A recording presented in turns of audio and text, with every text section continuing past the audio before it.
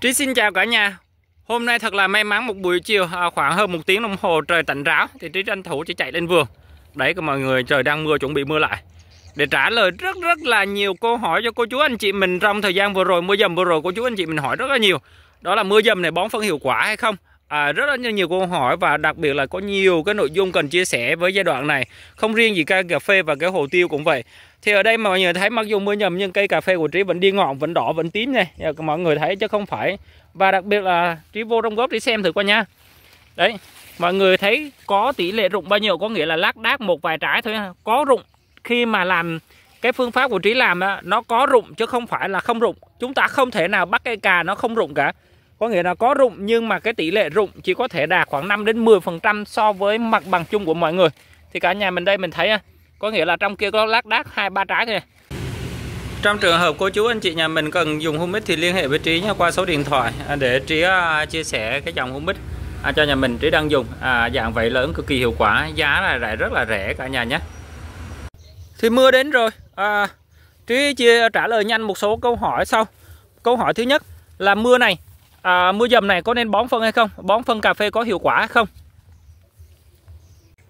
Như cô chú anh chị mình đã biết rằng khi mà môi trường ẩm độ ở trong không khí nó cao như thế này thì cái việc thoát hơi nước ở trong cây trồng ra là nó không có diễn ra. Khi hơi nước không thoát không diễn ra được thì cái phân bón và cái nước ở dưới môi trường nó không đi lên được. Nó không đi lên được dẫn tới một cái điều rằng cây không lấy được phân bón, không lấy được phân bón và lấy không lấy được dinh dưỡng. Như vậy dinh dưỡng ở đâu mà cây có thể phát triển được ngọt như thế này đó chính là dựa vào cái năng lượng đã tích lũy ở trong lá này. Ở trong lá à, những cái lá già này. Vì cây trồng luôn ưu tiên phát triển ngọn non và phát triển trái. Trong trường hợp 10 ngày vừa qua mà không có ánh sáng mà cái khả năng tích lũy của cô chú của cái vườn cà phê của cô chú anh chị mình không đủ hoặc là đủ nhưng cái việc mà chúng ta không tạo được cái một môi trường tơi xốp để cái cây nó lấy oxy để nó thực hiện những cái chức năng hô hấp ở trong cây để mà phân giải cái năng lượng được, được tích lũy ở trong lá này di chuyển ra ngọn non. Thì cái cây và cây cà phê của chúng ta có cái dấu hiệu thứ nhất là đứng ngọn cái thứ hai rụng trái rất là nhiều. Mặc dù phân bón chúng ta bón có nhưng mà cây nó không ăn được cả nhà. Do nó không có oxy để phân giải do đó cái việc bón phân trong cái thời điểm mưa dầm này gần như là chúng ta bị mất bị mất hoàn toàn luôn. Do đó là mọi người cần thấy Trí đã chia sẻ rất nhiều về nội dung này. Tuy nhiên à, Trí vẫn có cách để khắc phục cái tình trạng này cả nhà. Cả nhà mình thấy hầu hết là cái vườn cà phê của Trí vẫn đi ngọn rất là đỏ đúng không ạ? Có nghĩa là cái cây trồng nó vẫn đang ăn dinh dưỡng mọi người thấy này. Cái lóng nó rất là đã. Đấy mặc dù cái cái độ dài đây là do thiếu ánh sáng đây cả nhà. Đấy nhưng mà cả nhà mình thấy cây rất là xanh và đẹp mà không riêng gì cây này mà tất cả cái cây trồng cái cây ở trong vườn nó cực kỳ xanh luôn. Có nghĩa là cây hấp thụ được dinh dưỡng và tiêu hao được cái năng lượng, được tích lũy trong thân, trong cành. Thì để làm được điều này, cả nhà mình phải cần cố gắng cho Trí là duy trì một cái thảm thực vật này. Trí đã nói rồi, chỉ có cỏ mới có giải quyết được tất cả những cái vấn đề mà cái cây trồng của chúng ta mắc phải. Khi cỏ như vậy làm cho đất chúng ta tơi xốp, Khi cỏ, cái thứ hai cỏ sẽ mang trên trên cái rễ cỏ này nó có những cái vi sinh vật háo khí và nó mang oxy ở trong môi trường xuống dưới đất à, để thực hiện những cái sự sống của vi sinh vật này. Đồng thời nó cũng mang cái oxy xuống cung cấp cho rễ của cây trồng chúng ta luôn. Có nghĩa là một công nhưng mà rất là nhiều việc được hữu ích giúp cho cái cây trồng của chúng ta nó phát triển được trong cái thời điểm mưa dầm này. Cái nội dung nữa là trí luôn nói với cô chú anh chị mình thời điểm mưa dầm này nếu mà có bón phân á thì cố gắng là không được cào lá ở trong gốc này. Như mọi người thì có thời gian canh, chứ trí không có thời gian. Trí chỉ có bón phân vào thứ bảy chủ nhật, nếu không bón là thất bại thôi. Do đó trí vẫn bón phân vào thứ bảy chủ nhật. Mặc dù biết là mưa dầm, nhưng mà trí vẫn bón. Vì sao? Vì trí để như thế này, mọi người thấy rễ nó lên rất là nhiều. Thì chính những cái này nó sẽ giúp cho cái việc lưu giữ phân bón, nó lọc phân bón ở trong đất rất là tốt. Và một cái điều kiện quan trọng nữa, cực kỳ quan trọng nữa đó là khi mà trí bón phân trí luôn luôn bổ sung humic vào ở trong phân. Vì chức năng của humic trí đã chia sẻ rất là nhiều nó như là một chất chất keo mà xuống ở dưới đất. Cái keo này bám trên hạt đất nó trở thành một cái keo âm một mang điện tích âm. Còn phân bón của chúng ta nó mang điện tích dương dương. Do đó khi phân bón bón xuống dưới đất thì giữa keo âm và keo dương à, điện tích âm và điện tích dương là nó sẽ kết dính lại với nhau và nó dính chặt. Thì khi nước trôi phân xuống thì điện tích âm sẽ kết nối với điện tích dương. Hai bên khóa chặt lại với nhau và nước còn lại dịch chuyển đi xuống sâu thấm dưới và chảy ra ngoài. À, trường hợp này nó không khác gì cái cái lọc phân cá của anh chị mình nuôi nuôi cá cảnh á là cái việc mà cái lọc đất à, lọc phân của đất nó tương tự như cái bộ lọc à, phân cá ở trong bể cá. Nó tương tự như vậy nếu mà đất chúng ta càng tơi xốp độ mùn càng cao độ hữu cơ càng cao thì cái khả năng lọc phân bón nó càng cao thì chúng ta cứ bón phân cái thời điểm mưa dầm, không ảnh hưởng gì cả. Có nghĩa là cái hiệu suất sử dụng phân bón của cây trồng vẫn cực kỳ rất là cao luôn. Giống như vườn trí mọi người thấy, xanh đen luôn không rất là đơn giản, đâu có gì đó khó. Bên cạnh đó, cây trồng nó có một cái đặc điểm đó nữa cả nhà. Cả nhà mình thấy hầu hết là cái cây trồng nó phân phối cành nó từ trong ra ngoài, xếp từ trên xuống dưới. Có nghĩa là cành chạy từ trong ra ngoài và xếp từ trên xuống dưới thì nó sẽ hình thành như nhà mình định hình thêm một cái không gian ba chiều cho trí nghĩ xem có phải là cái cây cà, ờ, cây cà phê hoặc tất cả cây cây trồng nó phân phối cái cành nó và cái lá nó như một cái tán dù phải không ạ? Chính cái chức năng tán dù này nó sẽ giúp đẩy cái hạt nước từ trên ngọn này chạy dần chạy dần chạy dần chạy dần ra ngoài à, chạy ra ngoài. Và những cái cây vườn cà phê mà rất lớn ấy, thì cô chú anh chị mình thường thường là mưa to là chui xuống dưới cây cà phê để trú mưa thì cả nhà mình thấy ở ngoài mặc dù mưa rất là to nhưng ở trong nó chỉ nhỏ giọt thôi.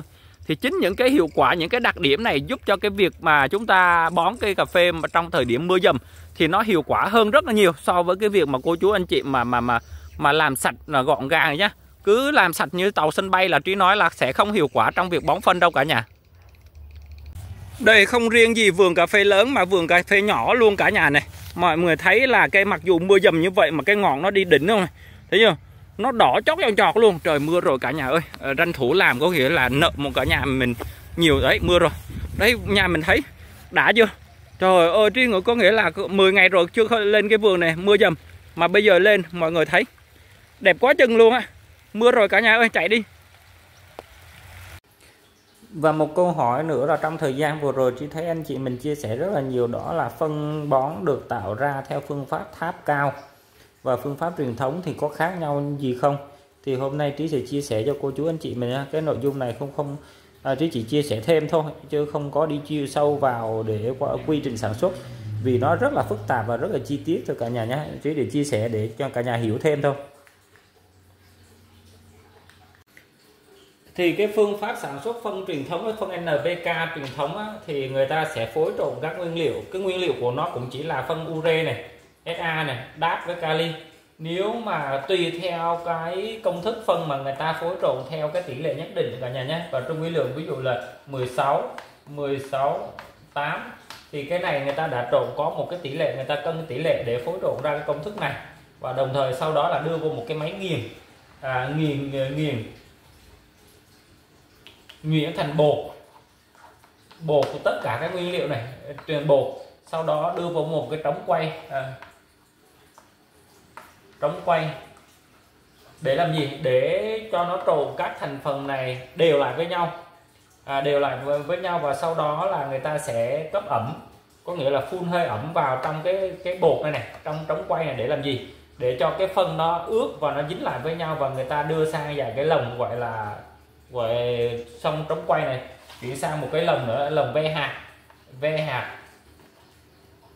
Về hạt khi mà hạt được cái cấp độ xong người ta sử dụng nhiệt người ta sấy khô cái phân. À, xong tới sấy. Sấy và những cái hạt nào nó đạt cái kích thước từ 0,2 mm đến 0,5 mm thì người ta sẽ tách người ta đưa ra ngoài. Thì nó sẽ sẽ sẽ đạt cái kích thước của cái hạt phân mang bán trên thị trường cả nhà thì đối với cái phương pháp này nó sẽ sẽ có rất là nhiều cái nhược điểm uh, xảy ra. À, có nghĩa là cái nguy cơ cái rủi ro mà nó xảy ra rất là nhiều mà cái này là trong truyền thống và bữa nay gần như là ít rồi.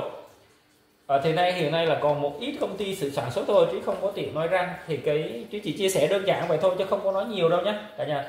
Thì trong quá trình mà nghiền cái phân này trộn lại với nhau thì các thành phần nó sẽ đụng chạm với nhau. À, đụng các các dinh dưỡng này nó đụng chạm với nhau và nó dễ sinh ra các phản ứng phản ứng hóa học này. Phản ứng đây là phản ứng không mong muốn cả nhà nhé. Còn cái phản ứng mong muốn nữa khác. Cái phản ứng mong muốn là chúng ta cần là nó diễn ra theo cái mong muốn của chúng ta để đạt được cái sản phẩm phân bón. Nhé. còn cái phản ứng này là phản ứng không mong muốn và nó sẽ tự diễn ra vì các thành phần dinh dưỡng nó tự đụng chạm với nhau mà. Nó tự diễn ra và tạo ra những thành phần không mong muốn và nó sẽ hóa hơi đạm đi. À, là trở thành NH3 hoặc là n h uh, ờ, nói chung là nó trở thành những cái khí mà làm cho cái phân bón nó bay đi hoặc là nó chuyển sang một cái thành phần dinh dưỡng khác mà nó ảnh hưởng đến cây trồng. Có nghĩa là cái nguy cơ rủi ro cái chất lượng phân bón này nó không đảm bảo theo tiêu chuẩn uh, mà cái cái công bố này tạo ra. Còn cái phương pháp sản xuất phân NPK theo cái phương pháp tháp cao cái này là giờ là cái phương pháp đang là tiên tiến nhất thế giới cả nhà đang tiên tiến nhất thế giới vì sao? Như thế cái nguyên liệu của nó cũng chỉ là bao gồm đạm lân à, uh, SA này để bổ sung cái SA này. Cái lưu hình này ure này bổ sung đạm đát để bổ sung lân này. Kali bổ sung kali và cái dinh dưỡng trung vi lượng là TE nữa cả nhà nhé. TE nữa. Thì tùy theo cái công thức ờ, đây ví dụ người ta muốn sản xuất công thức là 16 16 8 thì cái cái việc tính toán này đã có máy tính toán rồi. À, do đó là cái hiệu cái cái độ chính xác của nó rất là cao. Cái thứ hai nữa cái nguyên liệu này cũng được nghiền nhuyễn ra nghiền cho nhuyễn thành bột nhưng mà nó không phải ở trạng thái với bột đây mà người ta chuyển thành dạng lỏng. Lỏng lỏng sệt. Lỏng sệt đó chứ không phải lỏng như nước đâu. Để làm gì? Lỏng sệt để cái khả năng hòa trộn các thành phần dinh dưỡng này. Nó đều nhau. Tuy nhiên nó có một cái rất là hay đó có nghĩa là có một cái gọi là chất xúc tác đưa vào. À, xúc tác đưa vào ở trong cái uh, dung ờ, cái cái cái cái cái, cái dung dịch này cái bôi dạng bột sẽ của cái cái hỗn hợp này. Để làm gì? Để nó xảy ra những cái phản ứng hóa học mong muốn phản ứng hóa học mong muốn nha. Có nghĩa là nó chỉ cho phép cái chất xúc tác này chỉ cho phép một số cái phản ứng hóa học trong cái hỗn hợp này tạo ra. Có nghĩa khi mà nó phản ứng hóa học như vậy thì nó tạo ra cái hỗn hợp rất là bền